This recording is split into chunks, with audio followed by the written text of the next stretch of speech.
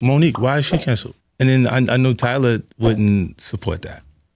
He never told anybody, nobody not to work with her. Mm-hmm. When I talked to him, he was like, "Nah, I, I never told no one not to work with her."